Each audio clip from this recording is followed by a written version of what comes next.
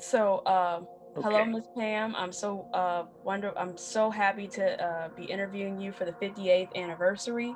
And wow. one of the first questions I have is, what drew you or brought you to Maple Park?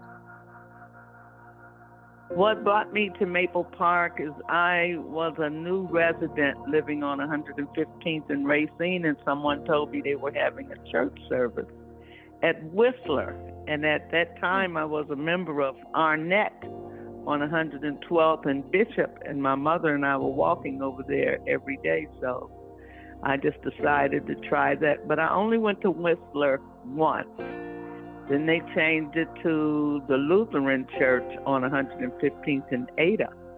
And I started going there until the smaller church was built on 117th and Elizabeth. And I liked the people. They seemed to be so friendly and so sincere in their worship of God.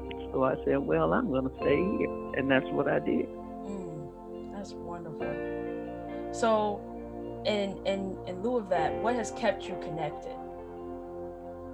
What has kept me connected is one basically one of the same things that brought me and kept me there from the time really I considered myself a permanent resident was when I was going to the Lutheran church as the people at Maple Park United Methodist Church were just so full of God. And I didn't have there were a lot of things that went on in my life that, and I used to feel unworthy. But when I went to Maple Park, everybody just made me feel like I was a part of. And the prayers that they prayed, uh, they were just so sincere. So I just felt that God led me there. Yes. I and I refused to leave. Same here. I'm not going anywhere. so yeah. I, I, have to ask because I love worship service. What is your favorite part of worship? Um, the choir. All right. the choir. But you know what? I also enjoy doing the offertory mm. because mm. a lot of times uh, Vivian Lewis told me that I could, because I, I like to talk, so I can like kind of transmit things that have happened in my life that make me want to give and to let people know that, you know, you're not by yourself like I used to feel until I came to Maple Park. So when I do the offertory, I always try to throw some real life into it in addition to following the word as far as giving is concerned. So it's the offertory that I do sometimes, and it's always choir. Amen. Always. Mm. And so now that we're in these pandemic times and trying to adjust to a new normal, what do you envision for Maple Park's future? I envision us going out talk to the people and not just be in that building standing on the corner and telling people to come on down. Sometimes we have to get out there and talk to the people and let them know that we're there. They know the building is there, but they need to know us and not just the building because we can just stand on a corner and praise God without ever going into that building. Yes. And I don't know about other people that are scared of the teenagers and this. I'm not scared of any child. So I always go down Racine or one of the streets and if, if I see some kids that are doing something they don't have any business doing, I stop and talk to them mm. because they need to know that we love them. And I think that's what we have to do. We have to be proactive with the neighborhood to build the neighborhood back up and show that we, as that church on the corner, are concerned and loving and willing to be a part of the community and have them be a part of us. You're absolutely right. I feel the same way. We have to extend ourselves. Exactly, exactly, exactly. Because I love out there and it makes me sick to see what's going on. Of course, you always have to be cautious, but you have to be cautious anyway. Amen. But we have to step out knowing that God is going to take care of us like He's been doing. Yes. Yes. And God has carried us for these 58 years, and I pray He'll carry us for 58 more. Absolutely, He will. I know He will. you know. And I I really want to be here for the next 58. I hear you, Miss Pam. Same here. well, you'll probably be here, Jerice, but I might not. But I, you know, I have faith and confidence. So, hey, all we have is faith at times. And, That's right. And and so I am so very uh, grateful for the time that we've had. This was a wonderful interview. And thank you. I, I, I have learned so much. And uh, thank you. And I want to thank you guys for even considering me to be a Maple Park legend. I don't consider I'm old, but you know, when they say you're a Maple Park legend, you've been going there, you know, because in the interim I talked my mother into coming there instead of continually walking to Arnett. I said, Mom, they got a church right here, and they're cool, you know. And then Mama started coming too. Yeah, we're so, some good people from good stock. Yeah. Oh yeah, well we try. I ain't all that good all the time, but I work on it. but we have a lot of rich history, and we have a lot of uh, strong family ties and, and good values. You know, I'm I'm proud well, to be Maple Parker. Thank you, and I'm proud of, that you're there and that you never let anybody, no matter what happens, turn you away from your home because that's your home. Man. And I hope you never do, because nobody gonna move me out of there. No, you know. I'm, yeah, I'm not going without a fight. there you go. Don't go, period, because you always have to remember that you were there when some of these people that we don't, because we're not going to like everybody. So we were there when those people came, and we'll be there when they leave. That's how you work that one. You know, if you just look at them and be mad and get over it and then smile, I'm still here. You know, because we still have the same God. Yes we still serve the same God. I wholeheartedly agree. Right. Right. So all righty. The end of our session. You did Is it already? Okay. Yep. Oh well, thank you so much. Thank you. Yep. I love you guys. Thanks again. Yes. Okay. all right. Thank you, Teresa. And I'm so proud of you. Thank oh, you. Thank you, Miss Pam. I'm glad that I was able to interview you. Me too. Me too. I was like, please let him give me Jerice. I feel special. I did. and they were giving me a list. I said, no, no, let's stop at Jerice. May I please have Jerice? They said, absolutely. I said, thank you. Oh, thank so, you, Miss Pam. That made me feel really good. You're welcome, sweetheart. You're welcome. You have a marvelous day. You too. And thank you for considering me. Thank you. It was my pleasure. Yes, yes. Love you, Miss Pam. I love you too, baby. Bye bye. Bye bye.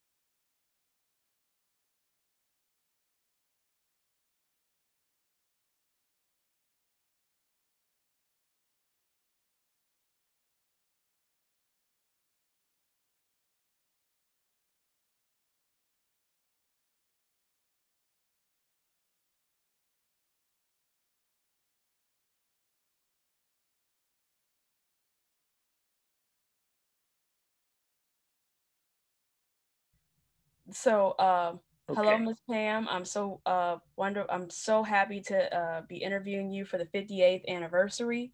And one of the first questions I have is what drew you or brought you to Maple Park?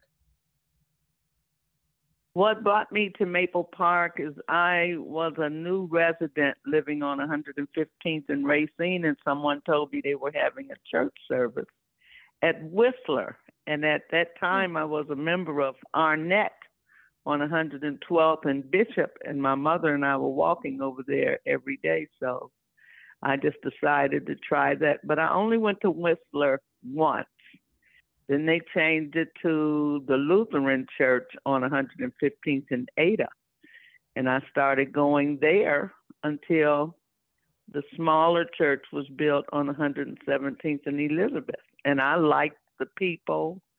They seem to be so friendly and so sincere in their worship of God. So I said, well, I'm going to stay here. And that's what I did. mm, that's wonderful.